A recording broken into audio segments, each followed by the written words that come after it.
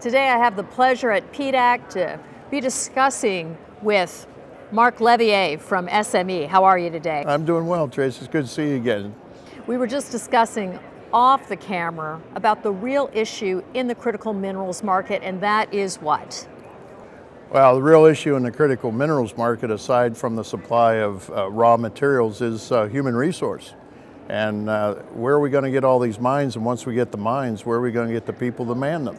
So uh, we just came from the SME annual meeting in Denver, and I can tell you that in every committee that I sat in on, uh, be it educators or industry, it was all about workforce and where are we going to, how are we going to attract the students, these, these high school kids into the colleges and get them into the engineering disciplines that we need to run these mines. So I'm going to ask you some hard questions, Marc. Everyone, uh, all these young, talented people say to me, we're going to decarbonize the economy. Well, that's fantastic. How are you going to attract these students to get into this industry to do things like, I don't know, rare earth extraction technology processes, for instance? How is, how is the SME positioning themselves? Because I know the CMI is really working on education. Well, we have a number of people that have interest in that area. So every year you see another committee uh, formed uh, of mutual interest uh, with technical sessions uh, that they organize themselves. Uh, we get a tremendous number of volunteers in SME out of our membership. And uh, so you can see that growing.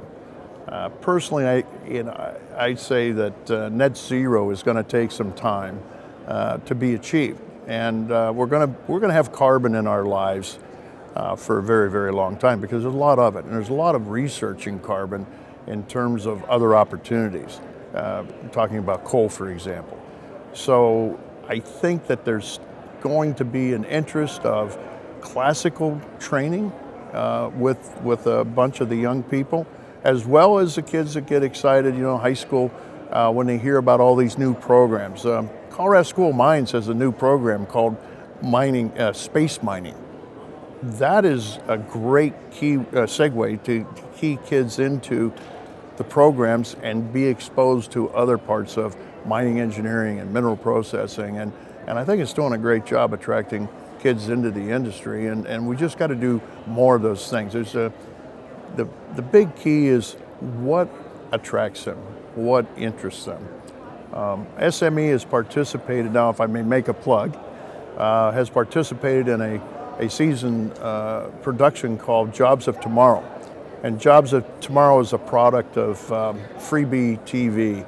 Uh, they put together a number of industries, and, and each industry has so many episodes. So we just completed our season one, six episodes, uh, talking about opportunities in the mining industry. And we're about to do season two. And these, these are not classical things. And when you look at the titles, you go, Where's the mining engineer? Where's this? They refer to them, but to get involved with ESG, they get involved with tailings, they get involved with a lot of new terminology, things that are of interest to kids.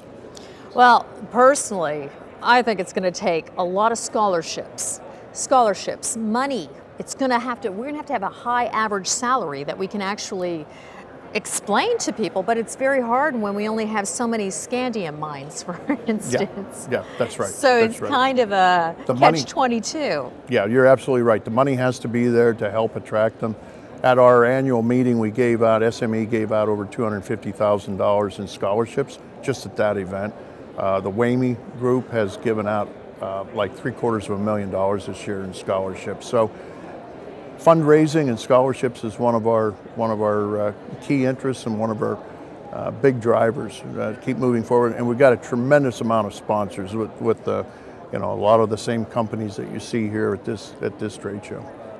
Well, Marc, it's such a pleasure to see you, and you know, we're looking forward to watching you ramp up for the big annual SME show, which happens what February of next year. It's February right? uh, 25 to 28 next year in uh, Phoenix, Arizona. So we're going to go to a little warmer climate, and uh, the attraction should be good. Wonderful. Thank you, Marc. Thank you.